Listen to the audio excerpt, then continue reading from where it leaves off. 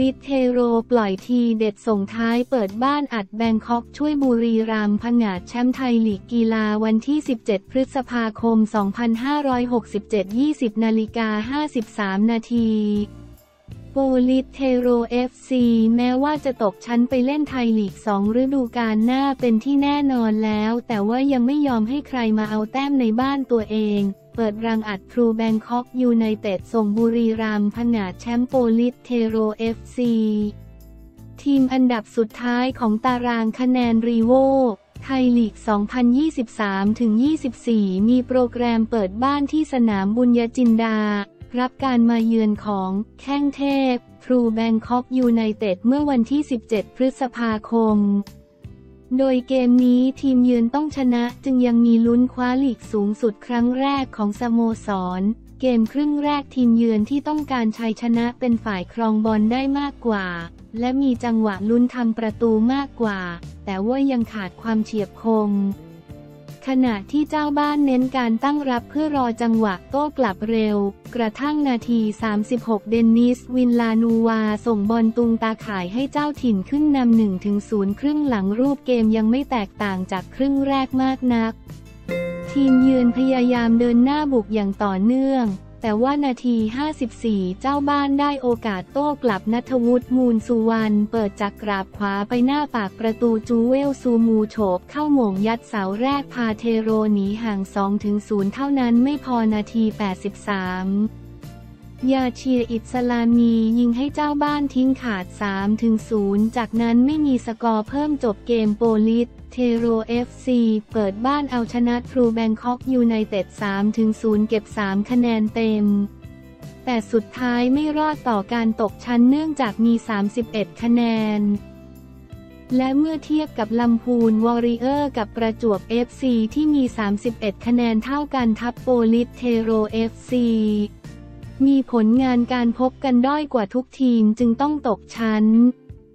ขณะที่ทรูแบงคอกยูไนเต็ดยังอยู่ที่ 58 คะแนนจาก 29 นัด ตามหลังบุรีรัมย์ยูไนเต็ด 5 แต้ม และเหลือโปรแกรมอีกเพียงนัดเดียวส่งผลให้บุรีรัมย์ผงาดคว้าแชมป์ไทยลีกไปครองทั้งที่ยังเหลือเกมแข่งอีก 2 เกม อิสราเอลอิหร่านไม่หวั่นสงครามลุยเที่ยวไทยหนุนตลาดตะวันออกกลางแต่ 1.11 ล้านคนเศรษฐกิจวันที่ 17 พฤษภาคม 2567 16นาฬิกา28 นาที นายสิริปกรเชี่ยวสมุทรรองผู้ว่าการด้านตลาดยุโรป แอฟริกา ตะวันออกกลาง และอเมริกาการท่องเที่ยวแห่งประเทศไทย ททท เปิดเผยว่าการท่องเที่ยวไทยตลาดระยะไกล โดยเฉพาะตะวันออกกลางขยายตัวต่อเนื่อง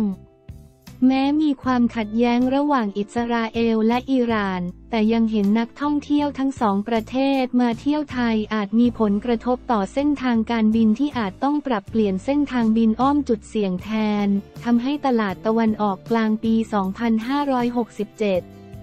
จำนวนนักท่องเที่ยวอยู่ที่ 1.11 ล้านคนขยายตัว 65.57%เทียบกับปีก่อนสร้างรายได้อยู่ที่ 1651 ล้านบาท เติบโตขึ้น 79.31%หากสายการบินทำการบินเป็นปกติ นักท่องเที่ยวก็จะไม่ตกค้างอาทิ อิสราเอลและอิหร่านมีการบินอย่างต่อเนื่อง ซึ่งส่วนนี้เราไม่ได้หวังในการนำนักท่องเที่ยวเข้ามาอย่างเดียว แต่การออกไปเที่ยวในประเทศเหล่านี้ของคนไทยก็ต้องมีด้วย เพื่อให้สามารถทำการบินได้ทั้งการบินเข้าและบินออก ทำให้ผลกระทบจึงเป็นเพียงการบินอ้อมหลบหลีกน่านฟ้าเท่านั้น ไม่ได้กระทบในภาพรวมโดยททท ไม่ได้ประมาทแต่มองเห็นภาพเป็นโอกาสมากกว่า แต่ต้องทำให้สายการบินทำการบินเข้ามาเที่ยวไทยให้ได้ เพราะหากมีเที่ยวบิน นักท่องเที่ยวก็จะเข้ามาเที่ยวไทยแน่นอน นายสิริปกรณ์กล่าวว่าในส่วนของสายการบิน ขณะนี้ยังทำการบินอย่างต่อเนื่อง อาทิ El Al Israel Airlines บินเข้าไทยปลายทางกรุงเทพมหานครจำนวน 6 เที่ยวบินต่อสัปดาห์ภูเก็ตจำนวน 3 เที่ยวบินสัปดาห์อัตราบรรทุกอยู่ที่ 90% ซึ่ง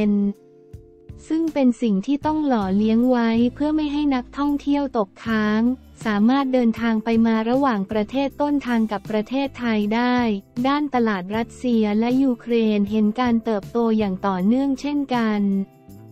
เพราะตลาดนี้นิยมเที่ยวหรูหราและกูรี่ส่งผลโรงแรม 5 ดาวแถวภูเก็ตไม่เพียงพอรองรับโดยปี 2566 รัสเซียเข้ามาเที่ยวไทยจำนวน 1,479,844 คนยูเครน 36,226 คนส่วนในปี 2567 ตั้งแต่ต้นปีจนถึงวันที่ 2 พฤษภาคม 2,567 รัสเซียเข้ามาเที่ยวไทยแล้ว 769,569 คน ยูเครน 18,837 คน ซึ่งประเมินพบว่าถือเป็นอัตราที่ดูดีมากเนื่องจากขณะนี้ผ่านไปเพียง 4 เดือนเท่านั้น แต่ตลาดรัสเซียและยูเครนเข้ามาเที่ยวไทย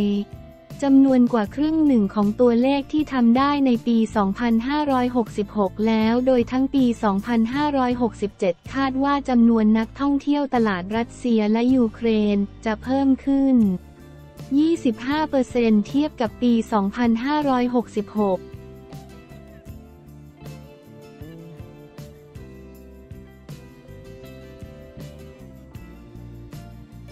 วิวกุลวุฒิไล่ตบหนุ่มอินเดียลิ้วรอบรองแบด Thailand Open บาสปอป้อเข้ารอบกีฬาวันที่ 17 พฤษภาคม 2567 17นาฬิกา58 นาที การแข่งขันแบดมินตันรายการ Toyota Thailand Open 2024 รายการระดับ BWF World Tour Super 500 ชิงถ้วยพระราชทานพระบาทสมเด็จพระเจ้าอยู่หัว และเงินรางวัลรวม 420,000 เหรียญสหรัฐหรือประมาณ 14 ล้าน7แสนบาท ที่อาคารนิมิบุตรสนามกีฬาแห่งชาติระหว่างวันที่ 14 ถึง 19 พฤษภาคม 67 นี้เมื่อวันที่ 17 พฤษภาคม เป็นการแข่งขันในรอบก่อนรองชนะเลิศ ประเภทชายเดี่ยว วิว กุลวุฒิเจ้าของแชมป์เก่ามือวางอันดับ 4 ของรายการมืออันดับ 8 ของโลกพบกับเมราบ้าลูวางไมซานามจากอินเดียผลปรากฏว่ากุลวุฒิ ยังคงโชว์ฟอร์มได้ยอดเยี่ยมเอาชนะไปได้ 2 เกมรวด 21-12 และ 21-5 ผ่านเข้าสู่รอบต่อไปได้สำเร็จด้านประเภทคู่ผสม บาส เดชาพลพัววรานุเคราะห์และ ปอป้อซับซิรีแต้รัตนชัยคู่มือ 6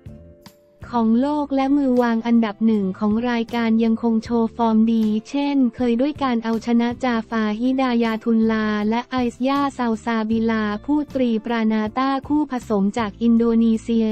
2-0 เกม 21-17 และ 21-11 เข้ารอบต่อไปได้เช่นกัน